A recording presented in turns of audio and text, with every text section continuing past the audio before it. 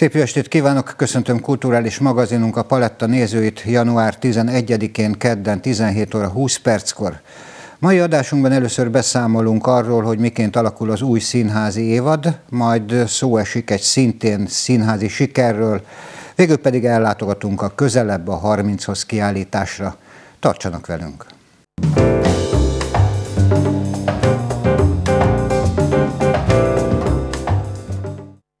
Kialakult az új színházi évad repertoárja, újra színre kerül az ember tragédiája 2.0 és a fém is, emellett számos új darabbal várja közönségét a teátrum. Tisztelte köszöntöm Szikora János, a Vörösmarty Színház igazgatóját.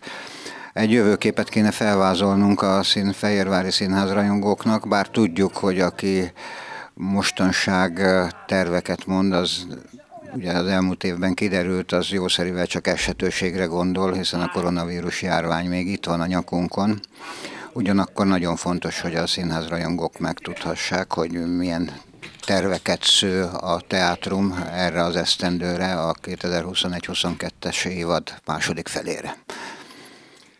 Én optimista alkat vagyok, és tervező alkat, tehát Covid ide, Covid oda. Én azt gondolom, hogy a járvány ideje alatt megtanultunk alkalmazkodni a helyzethez, megtanultunk alkalmazkodni a körülményekhez, és tulajdonképpen ez jellemzi a hétköznapjainkat. Most is vannak covidosok, most is vannak beteg színészek, de mégis ö, sikerül az előadásainkat vagy pótolni, vagy lejátszani, és ö, épp a napokban voltam ö, a film előadáson, és nagyon jó leső érzés volt az, hogy zsúfolt nézőtér előtt játszhattunk ismét. Az emberek jönnek a színházba, lehet, hogy félnek, lehet, hogy nem félnek, azt én nem tudom, de az biztos, hogy mindenki becsülettel viseli a maszkot, úgy látszik, hogy most már ez szinte divatcikké válik, mindenki számára magától értetődő, és akár, hogyha például arra a cégvezető előadásra gondolok, ahol 80 ad magammal szorongtam egy meglehetősen szűk helyen, igaz, hogy mindenki talpig felfegyverkezve a maszkban, úgy érzem, hogy lehet, hogy a Covid ilyen értelemben átírta a színházlátogatási szokásainkat is. Tehát um, azok a tervek, um, amelyeket um, egy évvel ezelőtt szőttünk, amikor azt gondoltuk, hogy ennek a járványnak vége, a, azokat nem másítottuk meg, azokról nem mondtunk le, és nagyon bízom abban, hogy az élet nem is fog arra kényszeríteni, hogy lemondjunk róluk. Már csak annál is inkább, mert a 2021-22-es évad igazán tartalmas, művészileg értékes része az most következik, tehát ha úgy tetszik, most jön a java. Most jön a java a Nagy Színházban, hiszen két olyan produkció kerül színpadra, amely már korábban is színpadra kerülhetett volna, de ezek most elhalasztottak, és bízom abban, hogy végül is megvalósulnak. Az egyik Dürremat az öreghölgy látogatása. Az öreghölgy látogatása Dürrematnak talán a legismertebb darabja, és én amikor másfél évvel ezelőtt elővettem Bagó Bertalan kérésére, aki ezzel az ötlettel állt előtt szeretné megrendezni Tóth Ildikóval a főszerepben, akkor megdöbbentem azon, hogy Dörrematnak ez a 60-as években írt színdarabja milyen hihetetlenül mai, mennyire ide szól, mennyire a mához szóló színdarab, szinte minden sora reflektál a mai közéletekre és közállapotokra, tehát azt kell, hogy mondjam, hogy azok a nézők, akik eljönnek, vagy azok a bérlettulajdonosok, akik megtekintik a, az öregkönyv látogatását, igazat adnak nekem. A, nagyon jó egy ennyire a hétköznapjaink szólóról szóló színdarabot olvasni, és bízom benne, hogy látni is. Már csak azért is, mert ez a színdarab egy elképzelt kisváros életéről szól, életének visszásságáról szól, de mégis egy olyan általános társadalmi parabólát ad, ami szerintem most valamennyiünk számára izgalmas lesz. Amikor Idestova majdnem tíz évvel ezelőtt átvettem a Vörös Marti Színház igazgatását, és művészeti programot hirdettem, akkor ennek a művészeti programnak egy fontos eleme volt egy úgynevezett Shakespeare ciklus. Azt képzeltem, hogy nagyon jó leső érzés egy olyan színházat vezetni, ahol minden évben egy-egy jelentős Shakespeare mű színpadra kerül. Ez végül is a Covid idejéig megvalósul, hiszen ha Lír királlyal kezdődött ez a sor, folytatódott aztán a Hamlettel, és számos más Shakespeare előadás után most végre színre kerül a Szent Ivánéi álom. A Szent Ivánéi álom szintén Shakespeare-nek talán a legismertebb és egyik legnépszerűbb műve, mert valamiképpen benne a költészet, a humor, a varázslat és a dráma valami olyan bájjal ötvöződik, hogy ezt minden korosztály ö, ö, szívesen látja, és Horváth Csaba rendezésében bízom benne, hogy ez szintén legalább olyan maradandó emlékű előadást lesz, mint például az imént említett Lír király, amivel ezt a Shakespeare ciklust kezdtük. A stúdióban egy izgalmas debütálásra kerül majd sor. Nagy Péter, akit színészként ismer a közönség, de a közönség nem ismeri azt a Nagy Pétert, amit most, akit most szeretnénk bemutatni, azt a Nagy Pétert, aki hosszú évek óta szeretne rendezni, mert úgy érzi, hogy az a ö, színházban eltöltött tapasztalat, ö, azok az évek számos olyan közlemdőt fogalmaztak meg benne, amit igazából nem színészként, hanem rendezőként tudna továbbadni. Nagyon szerencsés kézzel választott darabot, mert Sophocles Antigonéjét választotta. Sophocles Antigonéja egy csodálatos mű, úgyhogy ennek az Antigonénak a bemutatása a stúdióban, ez szintén egy igen izgalmas művészeti vállalkozásnak ígérkezik majd. Nos, ez a jövő, viszont egy kicsit beszélünk azokról a darabokról is, amelyeket átemelt a színház az idei esztendőre. Korán sem véletlenül az ember tragédiája kettővel kezdjünk, hiszen nagyon is jól tudjuk, hogy a négy szerző az év drámája címet nyerte el. Én azt gondolom, hogy ez beváltotta a hozzáfűzött reményeket, tehát házak előtt ment, és most ebben az esztendőben is fogjuk látni. Így van. Uh most a beszélgetés előtt néhány órával keresett meg az E-színház nevű elektronikus platformnak az igazgatója. Az E-színházról talán röviden annyit lehet tudni, hogy a legizgalmasabb színházi előadások, részben olyanok, amelyek futnak, részben olyanok, amelyek már nem futnak, elérhetők ezen a platformon, és igaz, hogy fizetés ellenében, de megtekinthetők. Rendkívül népszerű, mert úgy gondolom, hogy a magyar színházi paletta legizgalmasabb és legértékesebb előadásai láthatók itt. Ebbe a palettába került fel most a Tragédia 2, amelyet nem régiben rögzítettek, és a Tragédia egyel együtt, együtt kezelve az az elképzelés, hogy minden érdeklődő számára hozzáférhető lesz a tragédia, az ember tragédiája a Vörös Marti Színházban nagy vállalkozása, tehát Madács ember tragédiája és az ember tragédiája kettő. Akár ha valakinek kedve támad, akkor a kettőt egymás követően nézheti, és én úgy gondolom, hogy ez a két mű így, így együtt a Vörösmarty Színházban, ahogyan létrejött, ahogyan a közönség ezt megszerette, ez egy olyan páratlan élményt ad majd, amit élőben még hál' Istennek lehet látni a Tragédia 2 de ugyanakkor a Tragédia egyel kiegészülve az Elszínházban is látható lesz majd. A Tragédia 2-t az évad végéig játszuk, hiszen bérletes előadásunk, de bérletszünetben is azt kell, hogy mondjam, hogy műsorra tudjuk tűzni. És aztán van egy másik adósságunk, ez nekem szívfájdalmam, hogy az annyira várt, és tényleg nagyon sok energiát fektettünk bele, nagyon büszke voltam az elkészült előadásra, ez a Trianon című előadásunk.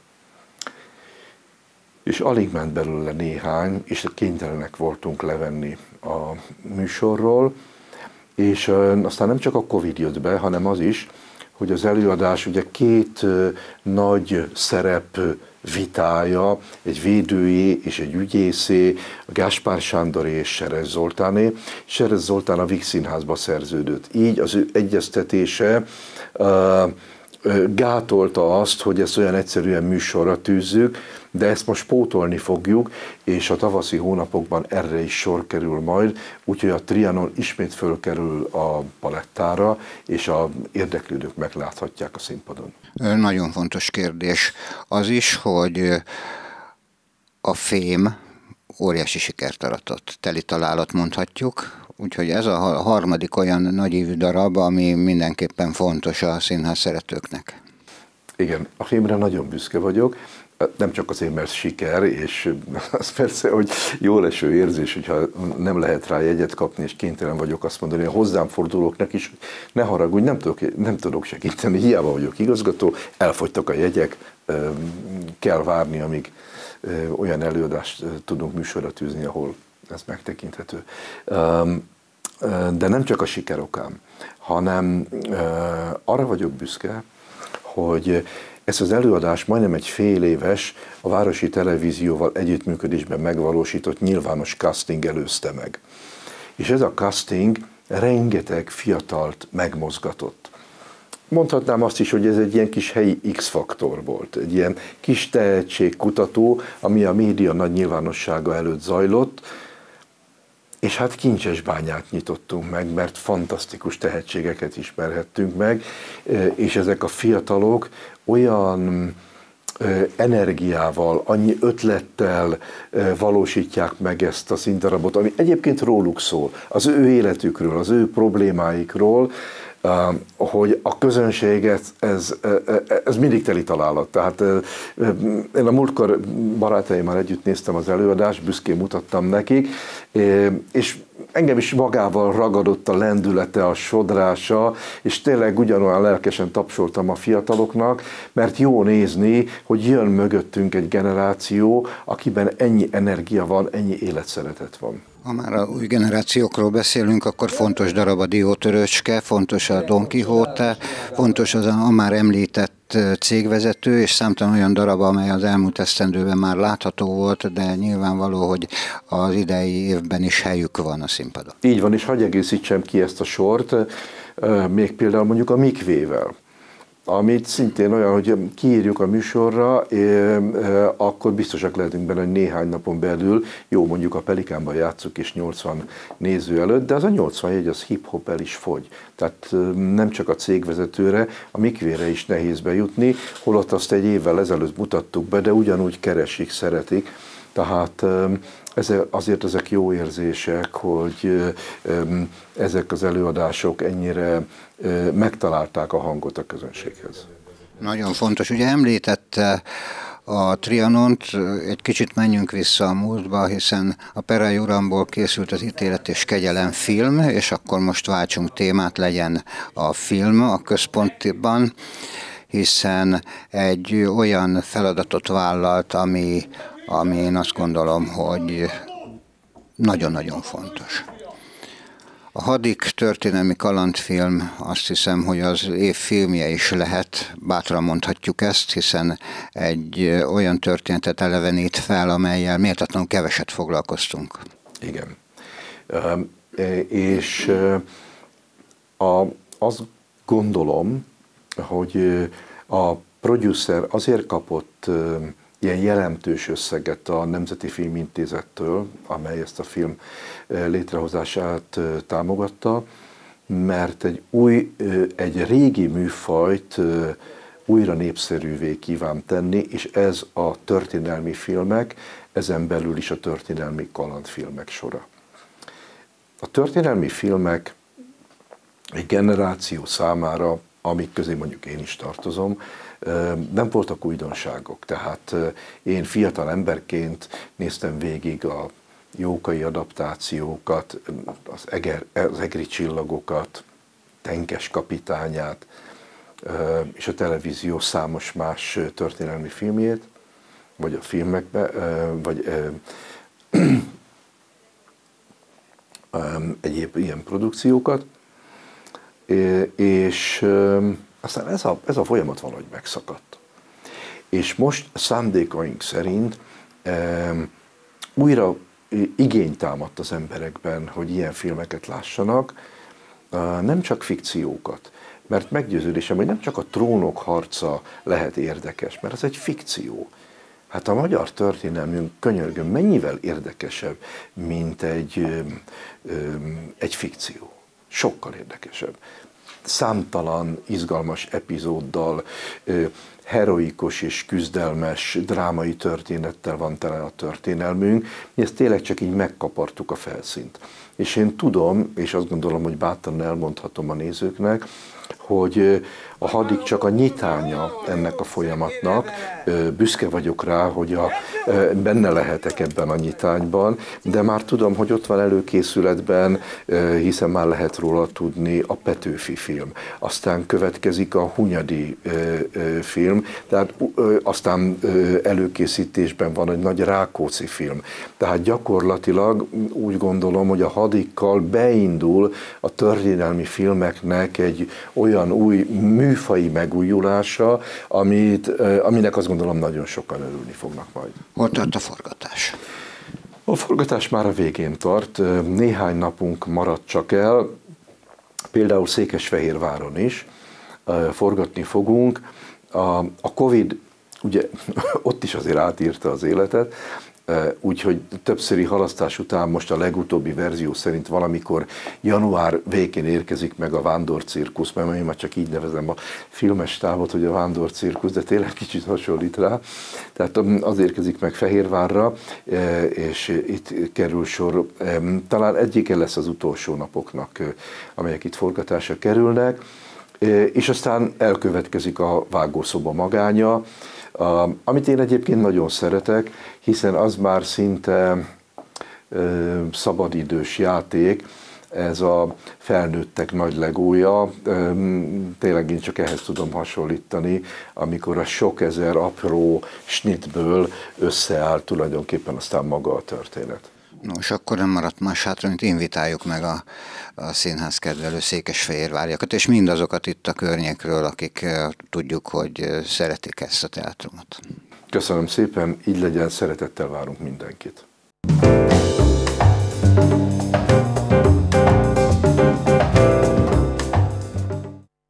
A dramaturgok céhe minden év nyarán begyűjti és feldolgozza az előző évadban nyomtatásban, elektronikus formában megjelent és a színházakban is bemutatott kortárs drámákat. Az idei évben az Ember tragédiája 2.0 nyerte el az évad legjobb drámája címet. A színházi dramaturgok cége az évad legjobb magyar drámája címmel ismerte el az Ember tragédiája 2.0 szerzőit. A darab a Vörösmarty Színház felkérésére született meg. Darvasi László Márton László, Tasnád István és Závada Pál munkája és annak szakmai és közönség sikere fontos üzenet a drámák helyett gyakran színházi szövegekkel operáló korunkban. A színházi szövegek irodalom felüli megközelítése továbbra is érvényes és megfelelő színház csinálói akarat mellett igazi közösségformáló erővé is válhat egy színház és egy város közösségének életében, ahogy ezt a laudációban is olvashattuk. Azt szokták mondani, hogy nomen est omen a név kötelez. Ennek az épületnek a homlokzatára az van kiírva, hogy Vörös Marti Színház. Ez a név az kötelez. Ez egyik legnagyobb magyar költő neve, tevékenysége, személyisége, emberi művészi helytállása az, az egy mérce, és az ember színház készítőként, olyan emberként, aki tulajdonképpen az irodalom és a színpad között egy összekötő kapocs, úgy, ér, úgy érzi, hogy tulajdonképpen egy láthatatlan és szellemi stafétát visz tovább, amikor ebben a színházban, a Vörösmarty Színházban a mai kortárs irodalom reprezentánsait megszólítja, és az ő műveit bemutatja színház és irodalom mindig akkor voltak nagyszerűek, amikor egymásra találtak. Vannak a színház történetnek nagy korszakai, ezek a nagy korszakok mindig kivétel nélkül a kortárs irodalom kapcsolódásával születtek. Nagyon bízom abban, hogy a jelenkor ö, magyar színházát is egy ilyenfajta színházi reneszánszként látja majd az utókor, amiben mi egy kis ö, gesztus tettünk, talán nem az elsők voltunk, talán nem is az utolsók, de hogy mindenképpen jelentős, azt mi is, ér, mi is érezzük, és jó eső érzés, hogy ennek a babérját természetesen azok aratják le, akiket megillet, és ezek az írók. Az előadás legközelebb január 12-én tekinthetik meg a színházbarátok a Vörösmarty Színházban.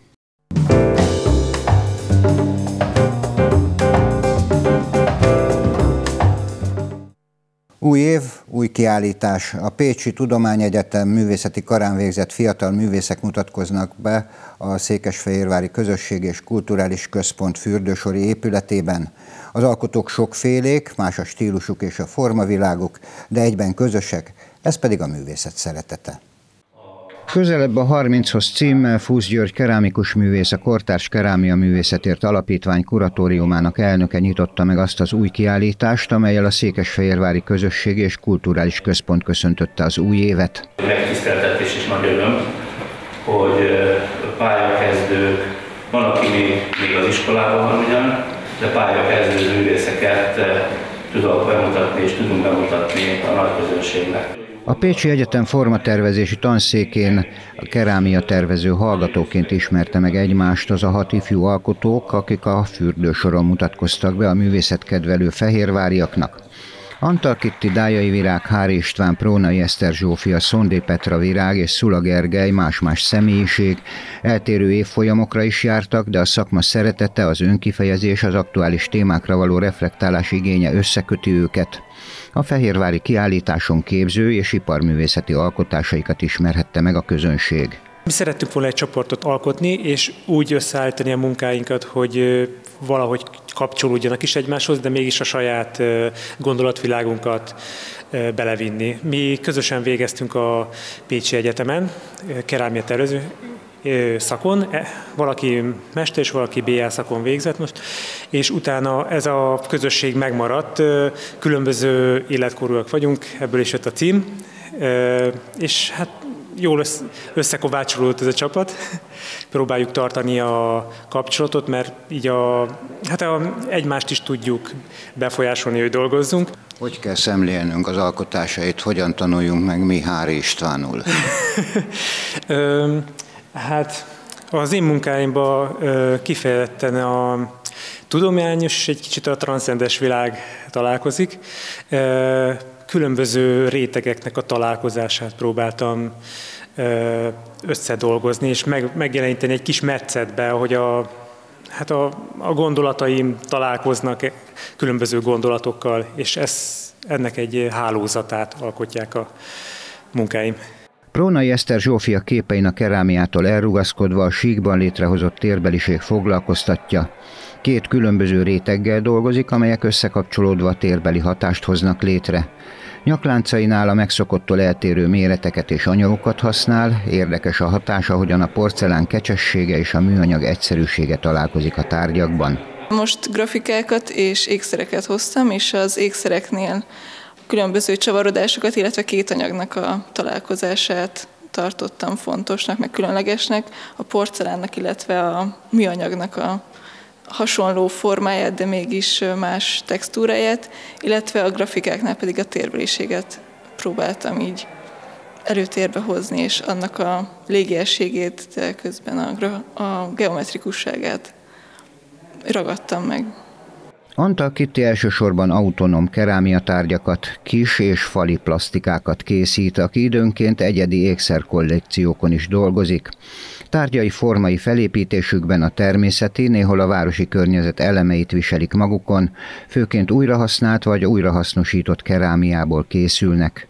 Új utakat kísérletezett ki annak érdekében, hogy munkái fenntartható módon készülhessenek. Szerintem az autonómia az minden alkotónak a saját egyéni megjelenése, saját képi világa, ugye, ami a vizualitásban valamennyire meg tud jelenni, vagy amennyire tudjuk láttatni a saját látomásainkat illetve elképzeléseinket, és hogy ezek a tárgyakon belül visszaköszönhessenek, és ezek külön műalkotásokként tudjanak érvényesülni. Szondi Petra virág kerámiáiban visszatérő téma az organikus és mértani formák találkozása, emellett az emberi test és természeti képződmények apró részleteinek átírása is foglalkoztatják. A kerámia szobrászatban találta meg saját hangját, aktuális munkáiban a geometrikus testek rendszerét töri meg a kerekedő formavilág, az arányokban és feszes felületekben rejlő kombinációk száma végtelen, így minden újabb darab egy-egy izgalmas utazásnak ígérkezik. Szeretem a munkáimat kétfelé választani, nagyon hangulatember vagyok, úgyhogy általában, hogyha nagyon precízen szeretnék dolgozni, akkor porcelánnal foglalkozom, és dizájntárgyakat szeretek készíteni, mellette viszont van egy nagyon erős érzelmi vonulat, ami viszont inkább a, a monumentális plastikák felé sodor, és inkább azokat választom az érzelem kifejezésre. Saját műhelyében egyedi kerámia használat és dísztárgyak tervezésével és kivitelezésével foglalkozik Szula Gergely, aki folyamatos fejlődésre törekszik, igyekszik szakmája minél több területén dolgozni. Kifejezetten érdekesnek tartja, ahogyan a kerámia látszólag egymástól távol álló területei a gyakorlatban nagyon hasonló kérdéseket vetnek fel. Elsősorban két, hát igazából ez két oldalról ö, közelíthető meg. Az egyik a, a plastikák és inkább a, a képzőművészeti munkáim, vagy abba a kategóriába sorolható munkáim oldaláról, ahol az egyediség az, az úgy gondolom, hogy én vagyok, hogy próbálok valami olyat csinálni, ami, ami, ami csak én tudok lenni, ami csak belőlem tud jönni.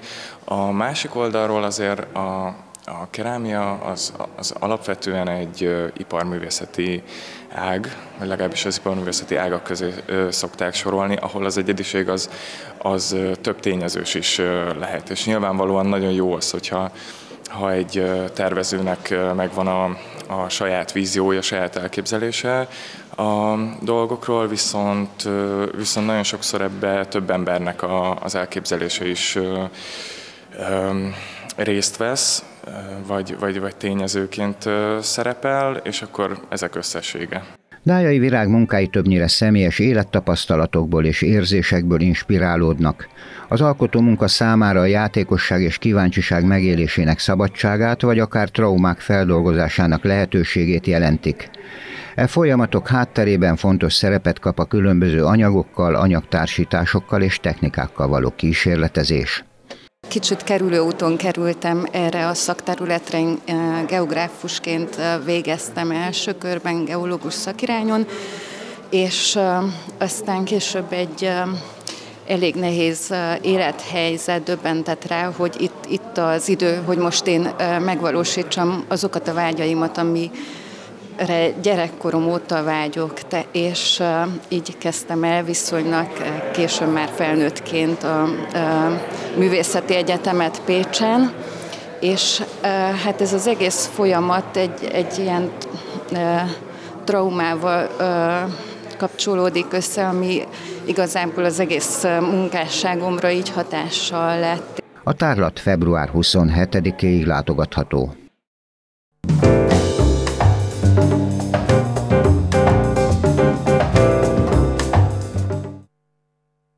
Kedves nézőink, köszönöm megtisztelő figyelmüket, találkozunk a jövő héten ugyanebben az időpontban, ugyanitt. Viszontlátásra!